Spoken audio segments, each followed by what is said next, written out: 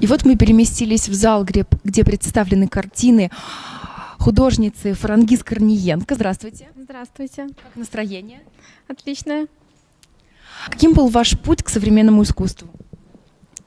А, мой путь а, был сложным, потому что а, я росла как бы в Узбекистане, а там всегда авторитетное мнение ну, более старшего поколения, и ты всегда находишься в каком-то таком смятении, все ли ты делаешь правильно. И а, долгое время я очень сильно расстраивалась, когда, допустим, критиковали мои картины, какие-то м, сверх супер художники заслуженные.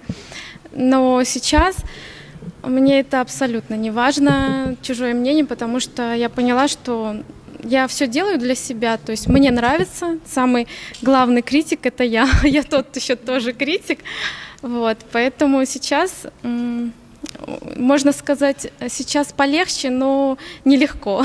Сколько лет вы пишете картины? Так, ну, пишу, ну, вообще рисую как бы с детства, с 13 лет это было более так, более серьезно, что ли. Я в 16-17 лет уже начала маслом рисовать, и, ну, вот довольно долго. А в данный момент времени живопись для вас это профессия или хобби?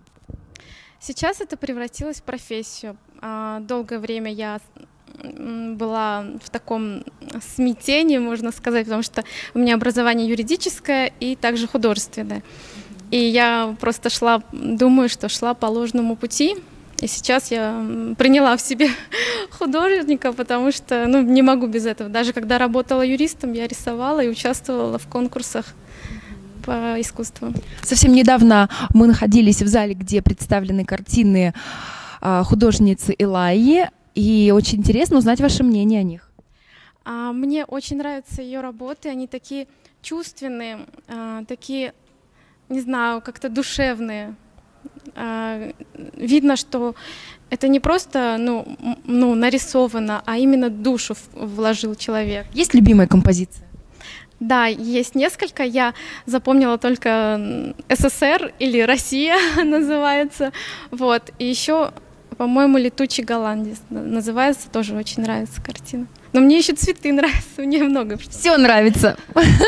Ну, практически все, наверное, да? Мне нравятся ее работы.